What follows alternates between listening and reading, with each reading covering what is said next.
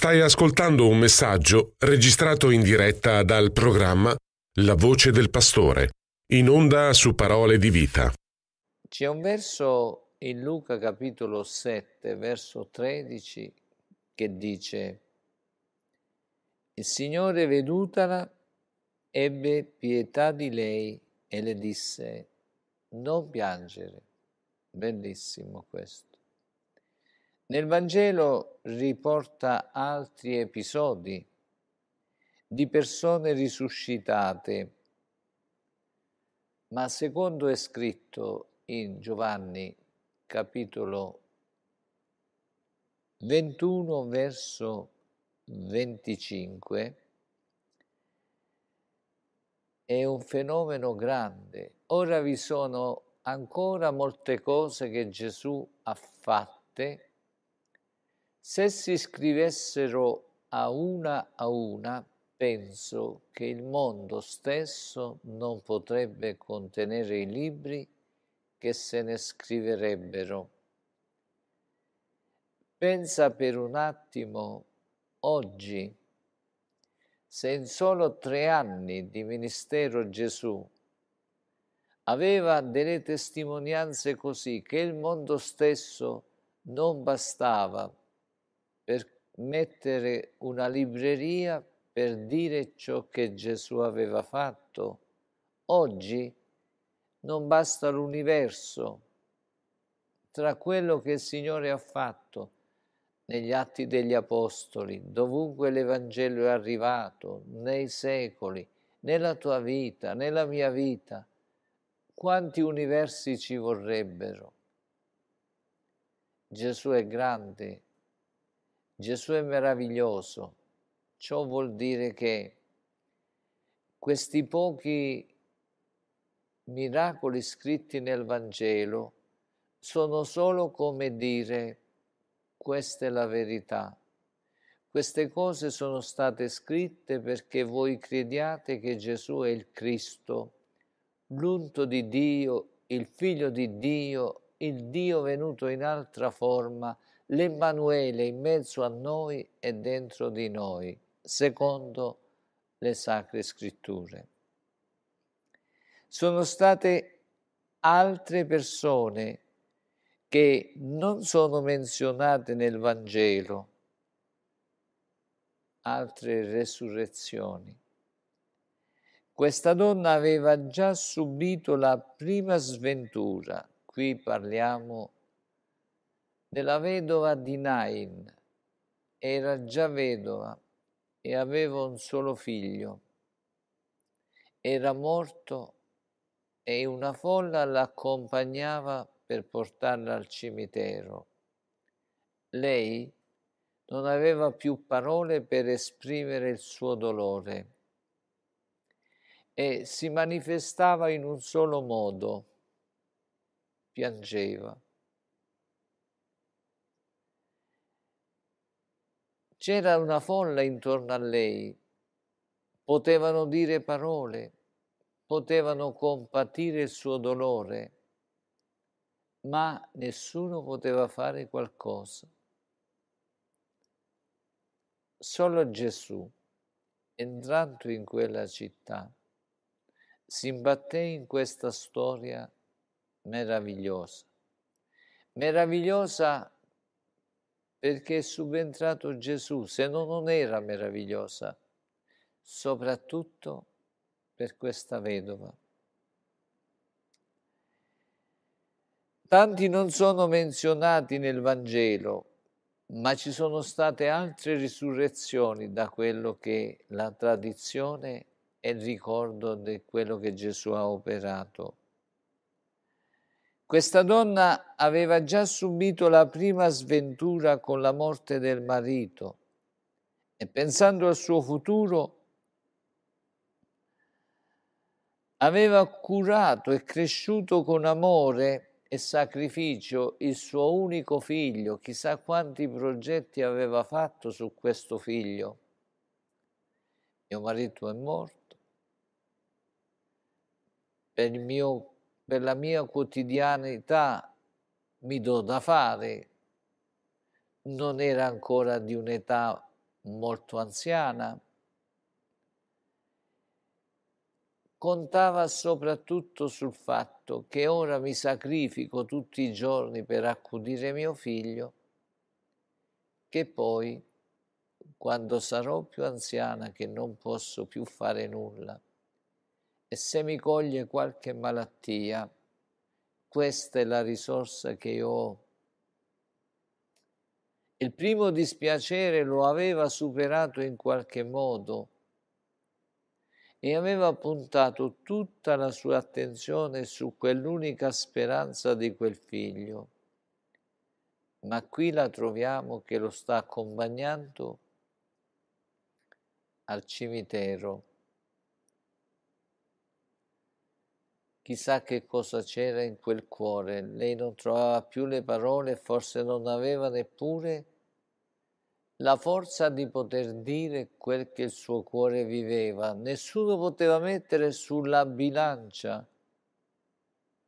il carico di dispiacere che c'era in quel cuore, solo che noi sappiamo che superava la misura normale, il nostro organismo è fatto così. Noi siamo molto educati in tante cose, ma quando alcuni pesi superano la misura che noi possiamo sopportare, noi non ragioniamo più.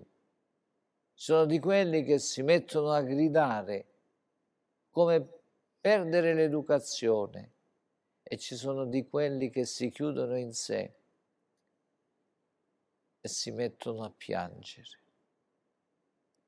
Questa, il suo dolore lo esprimeva nel pianto. Nelle opere che Gesù compiva c'erano un po' di tutti i colori. Un uomo che aveva un figlio posseduto, troviamo più avanti, che si esprimeva diversamente. C'era una folla che non finiva mai lui per farsi sentire diceva, gridava, dice la parola del Signore, è l'unico figlio che tengo, è indemoniato. Signore, aiutaci.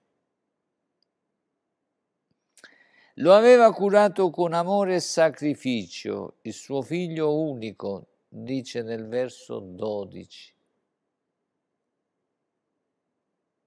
Luca 7:12. Dice così, quando fu vicino alla porta della città, ecco si portava alla sepoltura un morto, qui Luca descrive con precisione dicendo figlio unico di sua madre, che era vedova e molta gente della città era con lei. Luca sottolinea questa parte singolo, unico. Nel capitolo 8, verso 42, c'è un altro caso che dice perché aveva una figlia unica di 12 anni che stava per morire. O mentre Gesù vi andava, la folla faceva ressa intorno a lui. Anche qui era una figlia unica. E Gesù soffocava in mezzo alla folla per andare, come leggiamo in Luca 9:38, un altro caso. Un uomo dalla folla gridò, Maestro, ti prego, volgi lo sguardo a mio figlio, è l'unico che io abbia gridava dicendo è l'unico che io abbia.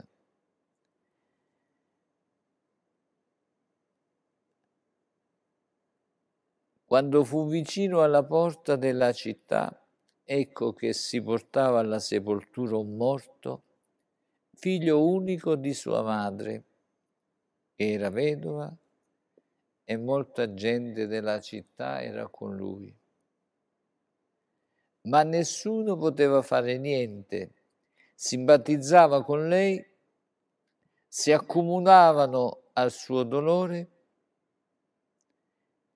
E beh, mio marito, così, avevo quest'unico che speravo per il mio futuro, quando non avrò più forza, in caso di malattia, o lui, il mio unico. Lei piangeva e basta. Iairo aveva anche lui una figlia unica. Nel capitolo 8, verso 41 dice, ecco venire un uomo di nome Iairo, era capo della sinagoga e gettandosi ai piedi di Gesù lo pregava di entrare in casa sua. Lo pregava, lui era uno della casta degli ebrei, era tra i nobili Aveva il problema del figlio, però finanziariamente stava bene, aveva una posizione sociale, però il problema c'era lo stesso.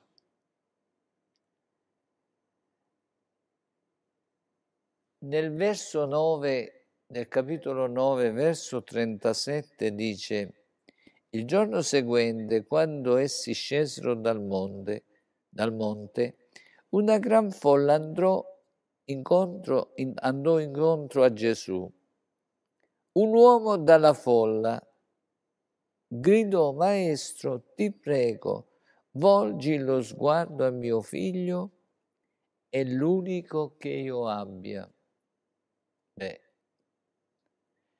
queste piccole cose sono molto importanti. Lo Spirito Santo ha guidato lo scrittore sacro per dire che queste persone avevano un solo punto di riferimento e proprio quello gli era venuto meno, dove loro avevano investito tutto il loro amore, la loro passione e non avevano più altra possibilità. Questo in mezzo alla folla era forte da poter gridare, perciò nel verso 38 leggiamo, gridava. Era l'unico figlio, ma era forte in sé per la sua sopravvivenza futura. Ma grazie a Dio Gesù rispose al loro bisogno. Ma lei non aveva la forza neppure per parlare. Lei una sola cosa riusciva a fare piangeva. Non c'era nessuno che poteva fare niente. Non c'erano parole. C'era una folla, qualcuno poteva condividere, si avvicinava, un bacio, una stretta di mano, una pacca sulla spalla, però il figlio era morto. Signore aiutaci. In Geremia capitolo 31, verso 16, c'è una parola autorevole da parte di Dio e Gesù è l'impronta del, del, Dio vivente in mezzo a noi in questa, in questa fase. Così parla il Signore. Trattieni la tua voce dal piangere, i tuoi occhi dal versare lacrime poiché l'opera tua sarà ricompensata, dice il Signore. Essi ritorneranno dal paese nemico. Gloria sia resa a Dio. Ti benediciamo, Signore. Gesù è l'impronta dell'essenza di Dio presente a questo funerale in quella città. Gesù prende questa parola con autorità divina perché Egli è Dio, il Signore dice, non piangere, perché il nemico la morte non vincerà. Abbiamo udito gli ultimi due versi che se lo rileggiamo. Dice, essi ritorneranno dal paese nemico. Nel paese nemico degli esseri umani è la morte, ma con Cristo neppure la morte è il nemico abbattuto perché Cristo operava già prima di aver compiuto l'opera sulla croce e gli aveva un messaggio vivificante alimentato dallo Spirito Santo, aveva vita in sé e nel suo messaggio c'era il potere. E poté dire a questa donna trattieni la tua voce dal piangere, i tuoi occhi dal versare lacrime, perché l'opera tua sarà compensata, il dolore che tu provi per la morte io sono la risurrezione, gloria sia resa a Dio. Trattieni la tua voce dal piangere, il nemico, la morte è stata sconfitta, Gesù è la risurrezione e la vita, proprio come in un'altra occasione, in un'altra occasione Gesù preparava il terreno nel cuore di Marta e di Maria, nel capitolo 11 verso 25 di Giovanni, quando il dubbio cominciava a prevalere, che era troppo tardi perché il fratello era già morto, Gesù le disse, io sono la risurrezione e la vita, chi crede in me, anche se muore vivrà. Oh, alleluia! Dove c'è il Signore, c'è speranza. Alleluia, alleluia. Gesù colui che era Dio quando il discepolo gli chiese mostraci il Padre e ci basta, Gesù dice Filippo, da tanto tempo sono con voi, io e il Padre, chi ha visto me ha visto il Padre. Perciò ogni parola che Gesù pronunciava era Dio che parlava a Dio sia la gloria. Era così collegato con il Padre che si manifestava per mezzo di Gesù Cristo, il suo figlio venuto in altra forma in mezzo a noi. E le parole di Geremia nel capitolo 31, verso 17, c'è il Signore, c'è speranza. C'è speranza per il tuo avvenire, dice il Signore. I tuoi figli ritorneranno entro le loro frontiere. Oh, questa parola lo Spirito Santo mi sta dicendo di porgerla anche a te che hai dei figli che si sono allontanati da Cristo, che hai dei figli che non vogliono sapere tu continua a pregare. Forse devi anche piangere o stai piangendo, ma il Signore ti dice che i tuoi figli, se tu perseveri con tutto il cuore, il Signore Gesù vede il tuo dolore come vedeva il dolore della vedova che stava accompagnando il figlio morto. Tu che desideri vedere i tuoi figli spiritualmente vivi, il Signore ti dà questa parola, il verso 17. Ascolta, sorella, ascolta, fratello, tu che hai dei figli, il Signore riporta in luce questo verso e per lo Spirito Santo diventa la parola che Dio ti sta dando questa sera. Persevera nel tuo dispiacere e proponilo e parlane, presentalo al Signore perché lui lo vede. Leggiamo il verso 17. C'è speranza per il tuo avvenire, dice il Signore. I tuoi figli ritorneranno entro le loro frontiere, entreranno nel recinto divino, entreranno nella salvezza eterna, perché Gesù, come vedeva, il pianto di questa vedova di Nain. Egli ora vede il pianto tuo. la tua passione di voler vedere i tuoi figli salvati. Non ti fermare, presentali al Signore. Questa è una parola potente che il Signore ti ha dato. Conservala nel tuo cuore. Presentali al Signore, anche con la preghiera liquida, come quella della vedova di Nain. Gesù non è lontano da te. Gesù era entrato in quella città e si accostò a quella bara. Stasera Gesù entra nella porta di casa tua con la sua parola. Lei, lui conosce il tuo dolore per i tuoi figli che devono essere salvati. Lui vede più di quanto tu pensi. Tu continua ad essere concentrata nel presentare al Signore coloro che tu desideri che, che siano vivi nello Spirito, che possano essere risuscitati perché Gesù Cristo è la risurrezione e la vita, naturale e spirituale. Il Signore che dice non piangere. Piangere perché li desideri vedere vivi, ma non piangere perché il Signore li risuscita. Nel capitolo 7, verso 13, leggiamolo insieme. Questa è una parola per te, che si rivolge a te personalmente perché la parola di Dio è profetica.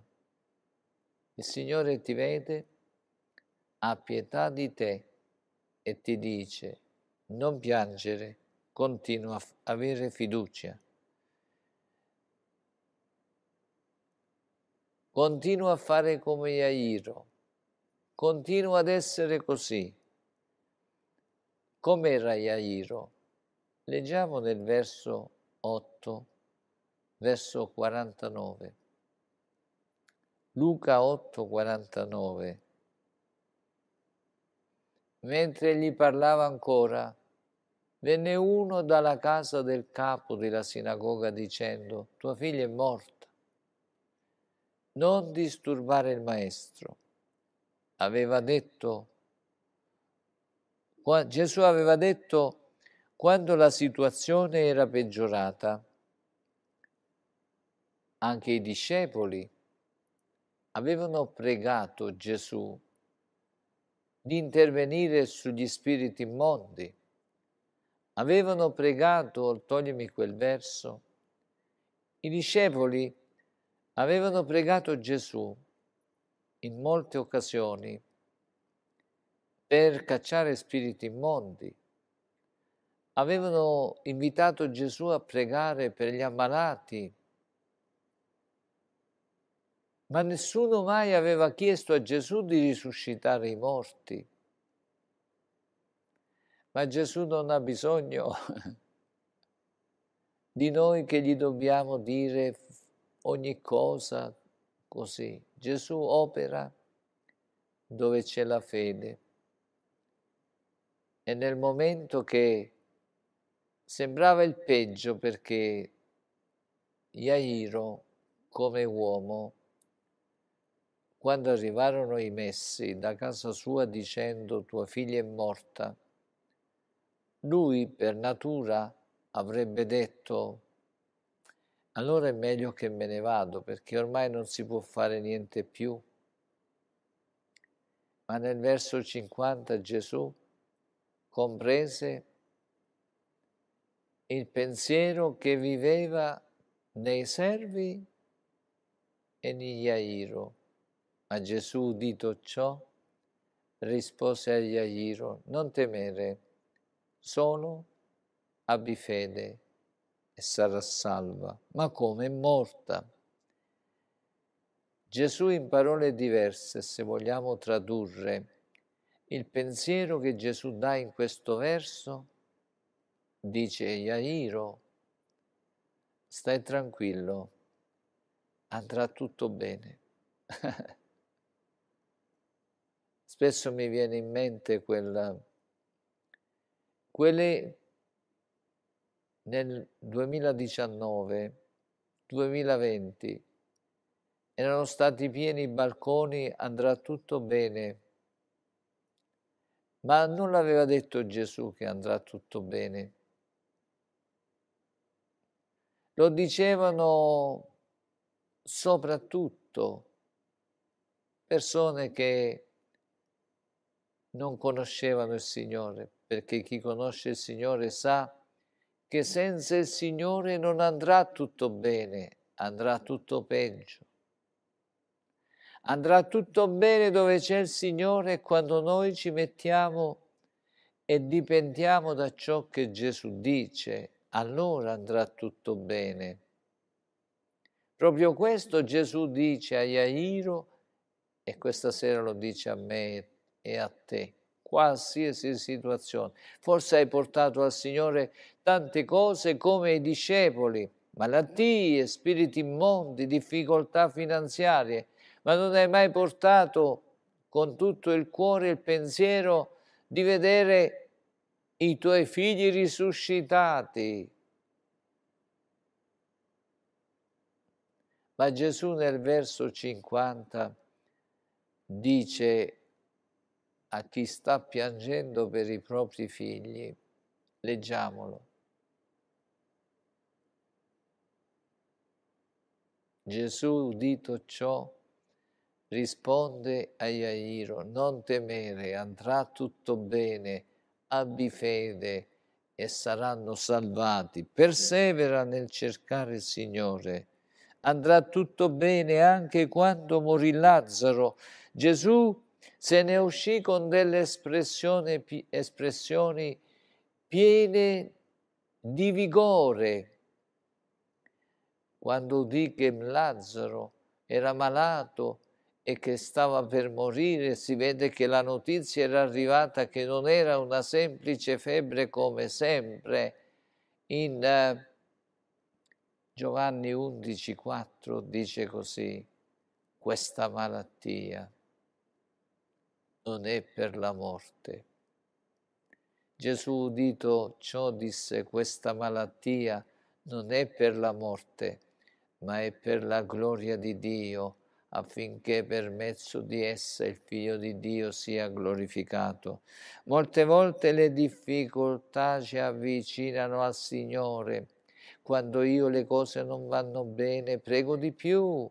Io spero che tu faccia la stessa cosa, perché molti si scoraggiano e buttano tutto per aria e cominciano a dire se ci fosse Dio, se ci fosse qua, se ci fosse là. No, Noi dobbiamo perseverare nel seguire perché certe cose accadono e se noi li prendiamo dal verso giusto senza scoraggiarci, guardando e dipendendo dal Signore, vedremo la vittoria in un modo potente. Non piangere, persevera, appressati al Signore ascolta con attenzione quello che lui dice, mantieniti nella po- po- po- posizione di comunione con lui, non ti allontanare, perché quello che disse Gesù, quello avvenne, Lazzaro venne fuori, dopo quattro giorni, Lazzaro risuscitò, fu restituito alla famiglia, Gesù chiede di credere a Iairo e Iairo capì, non temere, ma a cosa tutti, ma anche in casa sua, quando arrivarono, trovavano, trovò la casa piena di persone che piangevano. Leggiamo nel verso 52.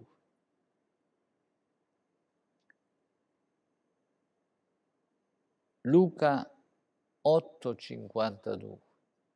Or tutti piangevano e facevano cordoglio per lei. Ma egli disse non piangete perché non è morta, ma dorme. Ma a Iairo gli era restata impressa la parola che Gesù aveva detto. Iairo non piangeva, aspettò con calma, aspettò il Signore. Arrivato a casa, lo fece entrare in casa sua.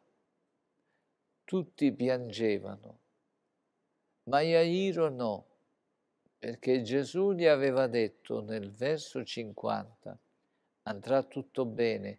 Noi quando poniamo fede in ciò che dice Gesù, le cose cambiano.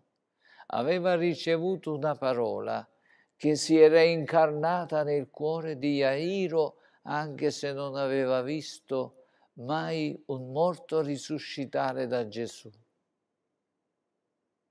Nel verso 50 il Signore gli aveva detto e questa sera lo dice a te e a me.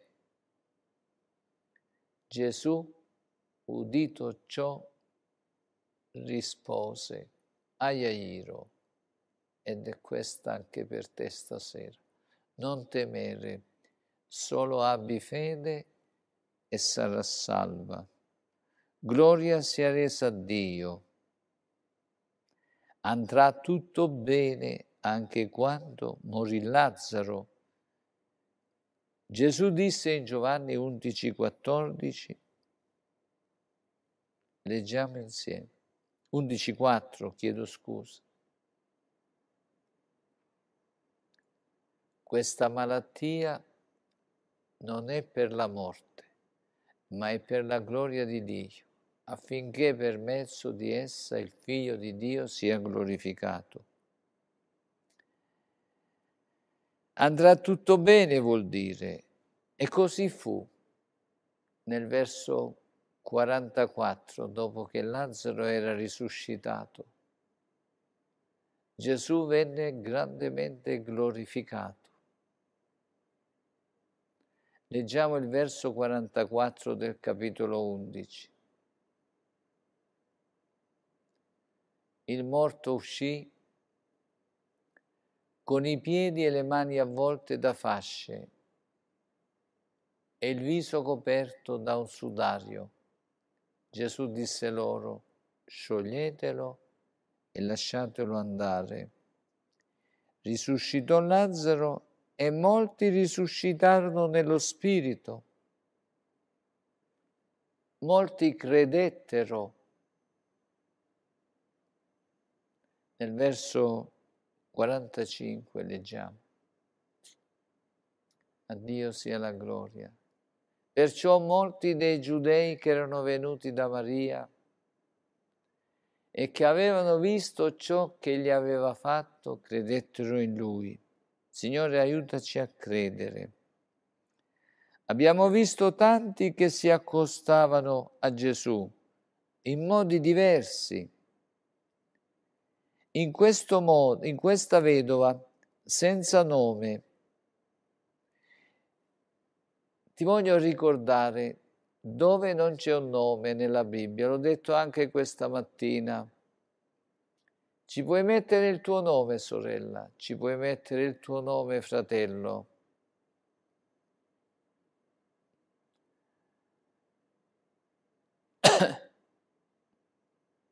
Signore ti dice non piangere.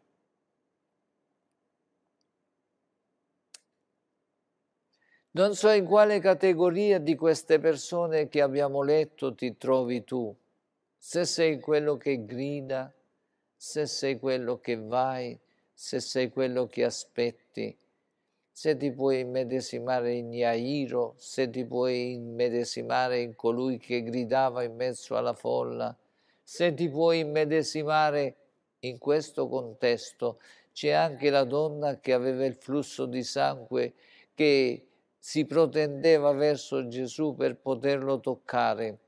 Non so quale sia la tua posizione questa sera, ma quello che vediamo, che qualsiasi posizione è, anche la vedova che non si sa esprimere e che si esprime con il pianto, ci sono tanti oggi che non sanno esprimere il loro dolore anche se hanno una folla intorno come la vedova che aveva una folla che lo accompagnava, ma lei si esprimeva senza parole. Per te che ti esprimi senza parole e che piangi davanti, davanti alla situazione che non vedi via di uscita, è Gesù che ti dice non piangere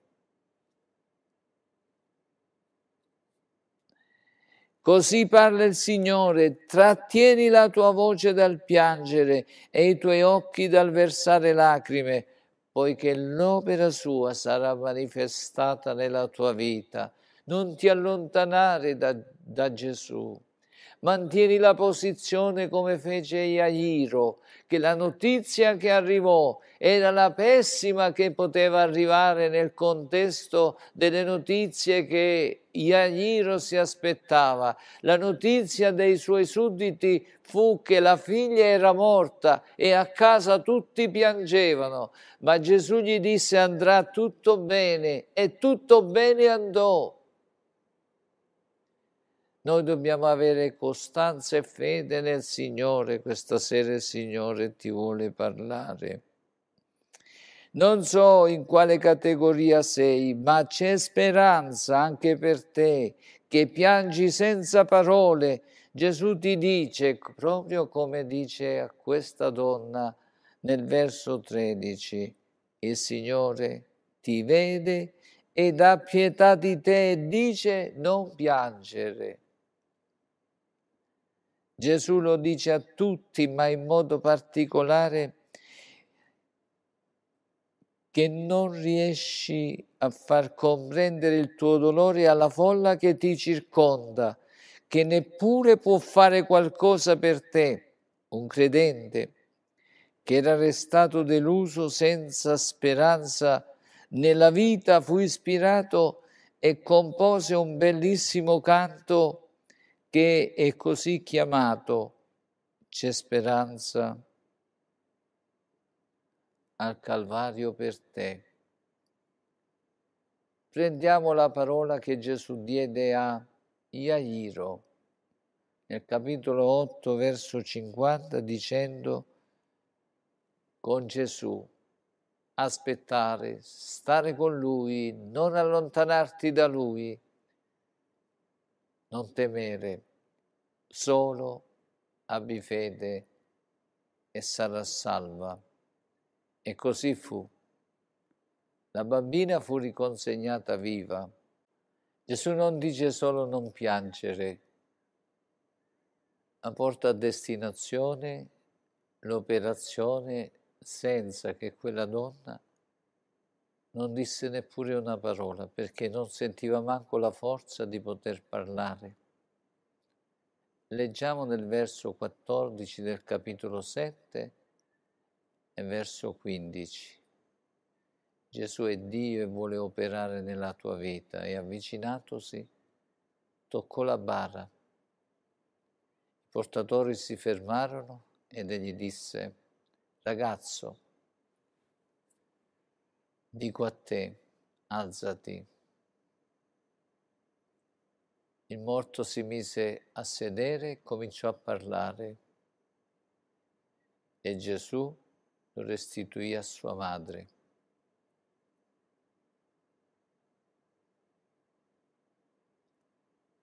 Mi viene in mente i miei genitori che avevano tanto pregato per me Avevano pregato per avermi perché dopo essere sposati per tre anni non avevano figli. Si supponeva che mia mamma fosse stata sterile.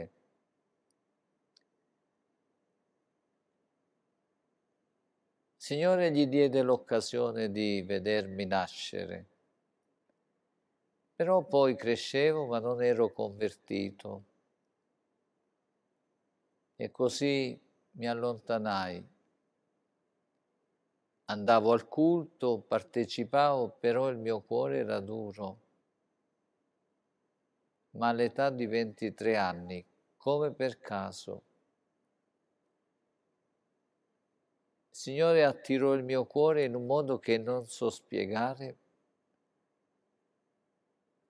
All'età di 23 anni, una sera, entrai come ero stato per 23 anni, tutto il tempo della mia esistenza. E quella sera in quel culto il Signore passò vicino alla barra dove c'ero io dentro. Mi toccò, mi salvò e mi battezzò nello Spirito Santo. Riversò su di me quella immensa salvezza che cambiò completamente la mia vita. Qui abbiamo visto Gesù che risuscitò questo ragazzo e Gesù risuscita nello spirito e nella carne. Gesù può operare nella tua vita.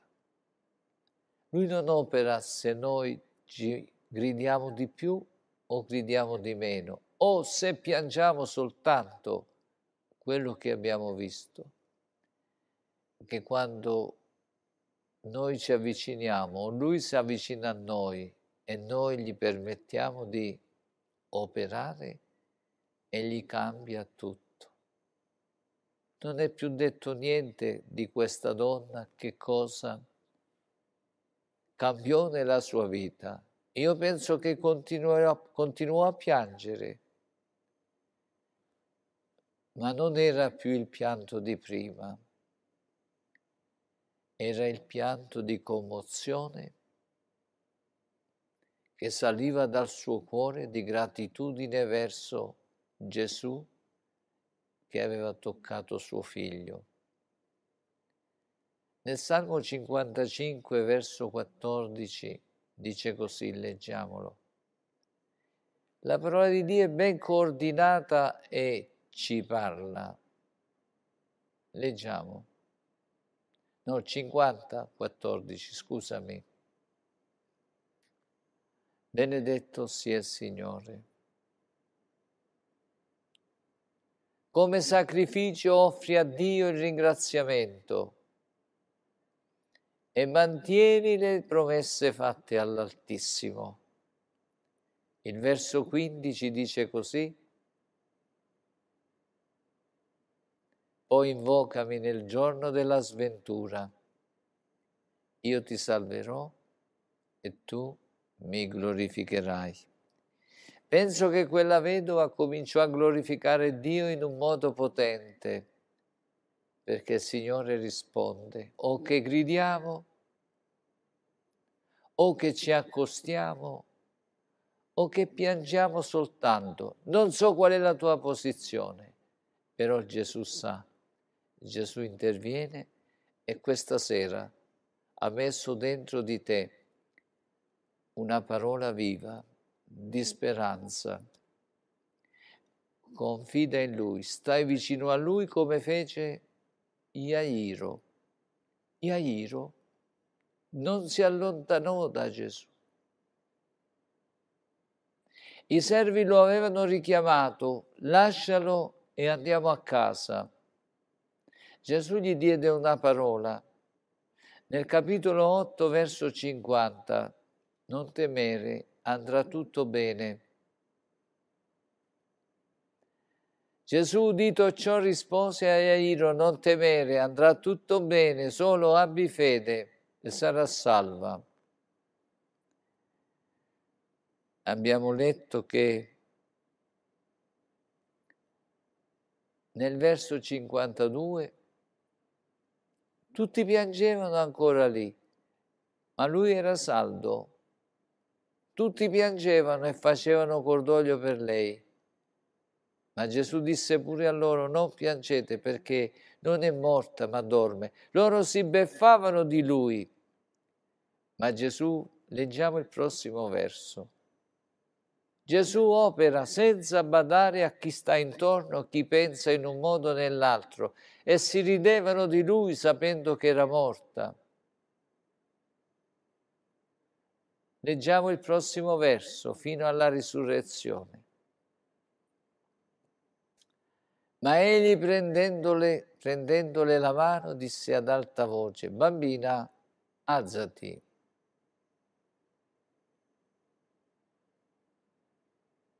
Prossimo.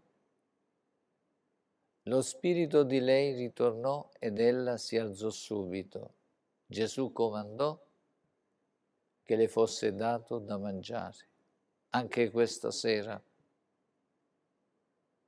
anche questa sera abbiamo visto la grandezza del Signore. La sua parola è viva, conservala nel tuo cuore Continua a restare vicino al Signore perché è l'unico punto di riferimento dove puoi vedere le cose che cambiano. A Dio sia la gloria. Vogliamo dire grazie al Signore per la sua parola che è stata seminata questa sera preghiamo che lo Spirito Santo la faccia fecondare e produca la fede che noi abbiamo bisogno. Preghiamo insieme. Signore, ti preghiamo che la tua parola, che è scesa nel cuore della sorella, del fratello, nel mio cuore, possa essere fecondata dallo Spirito Santo per produrre la fede necessaria che abbiamo bisogno e restare vicino a te, seguire te, perché con te c'è speranza presente e futura, perché tu solo hai parole di vita eterna. E a te, Padre Dio Onnipotente, nostro Dio, a te Gesù nostro Signore e Salvatore, a te Spirito Santo diamo lode, onore e gloria, ora e sempre. Amen. Hai ascoltato un messaggio registrato in diretta. Continua a seguirci sui nostri canali social o sul sito www paroledivita.org